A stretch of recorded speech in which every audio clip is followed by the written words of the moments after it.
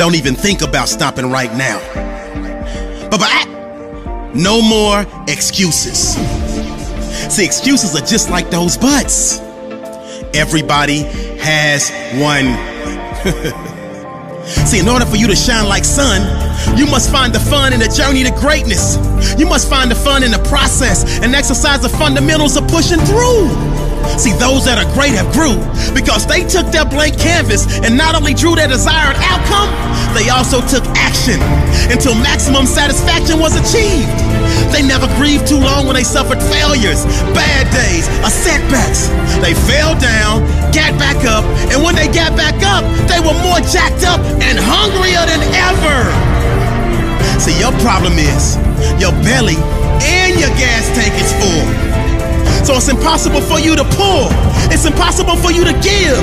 It's impossible for you to dig deep and easy for you to let any small excuse creep in. It's easy for you to let any small excuse sneak in your mental. But today is the day for your monumental shift. Today is the day that you power through and get one step closer to your gift. Today is the day for you to eliminate excuse and add more weight to your deadlift. Today is the day that you take that leap of faith and finally jump off that cliff and land softly on your bed of dreams. It seems that success has eluded and excluded you from its playground. But don't blame success because it's you that keeps spinning your wheels like a merry-go-round. You must have missed the memo, or you must have forgot. You were born to be a king that wears a crown. You were born to be a queen that wears a diamond-studded gown.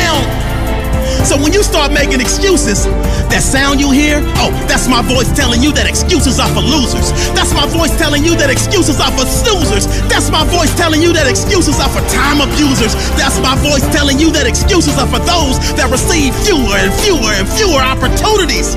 And it's the winners who are the next level choosers, and they maneuver in a manner that puts them in position to win and hoist the banners because executors and planners ultimately get the championship rings.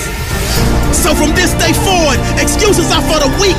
So starting right now, not tomorrow, not next week, I need you to vow to keep going. I need you to vow to keep glowing. I need you to vow to keep growing. I need you to vow to keep showing up and showing out. And when excuses pop up, I need you to knock them out your life and make it a one round bout. Because in order for your seeds to sprout, in order for your greatness to come out, Excuses will no longer have clout in my life. Excuses will no longer leave doubt in my life. Excuses will no longer leave doubts in my life. Excuses are now officially out of my life.